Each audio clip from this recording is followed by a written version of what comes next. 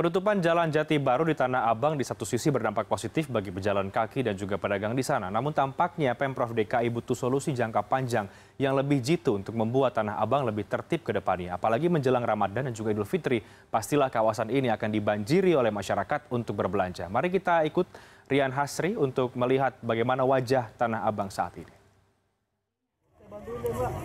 saya bantuin ya mbak kok malu sih ya siapa tahu baru awal dari bantuin pindahin barang ini kita bisa melanjut kehidupan yang lebih serius Dari uh, berapa jam yang lalu kira-kira? di satu jam lah saya putar dari blok B tadi. Satu jam dari Blok B masih stuck di sini. Makanya Pak, jalan kaki aja Pak, nggak usah naik kendaraan pribadi. 112 ribu orang setiap harinya keluar dan masuk dari stasiun Tanah Abang. Anda lihat pemandangan seperti ini berada di tengah lautan manusia merupakan hal yang lumrah terjadi. Selain itu juga trotoar memang sudah dimaksimalkan dan Satpol PP juga terus melakukan pengawasan agar area ini tidak lagi diinvasi oleh para pedagang. Gimana Bu, menurut pendapat Ibu perubahan di Jalan Jati Baru ini Bu? Lumayan ya? Lumayan enak katanya.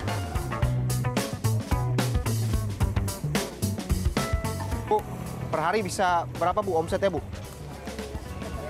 Nggak tentu ya. Sejuta? Ada 2 juta? 3 juta? Wah, senyum berarti ada Bu ya.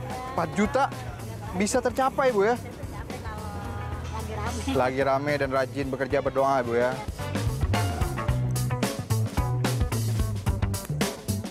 Tiga seratus ribu, lima lima puluh ribu itu kalimat-kalimat yang sering terdengar kalau ada di Jalan Jati Baru Tanah Abang ini dan juga akan ditemani oleh ibu-ibu yang cantik ya di sekeliling saya tuh merasa cantik semua.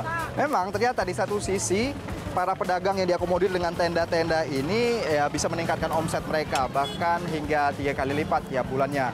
Tetapi dengan ditutupnya jalan ini bagi kendaraan umum dan dibukanya pada jam-jam tertentu saja khususnya sore hari, ternyata tidak sepenuhnya menyelesaikan masalah.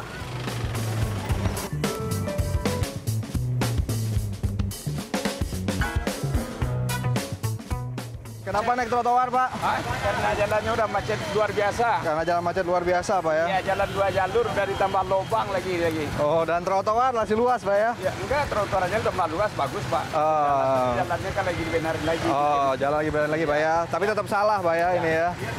Iya, tetap salah. Tapi karena macet ya sudah.